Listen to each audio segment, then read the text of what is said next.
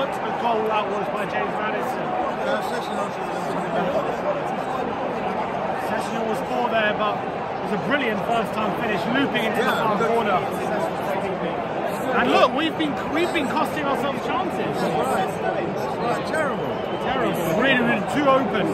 And we got ourselves back in the lead. Now it's 2-2 again. That was weak from Sessegnon. Really That was weak.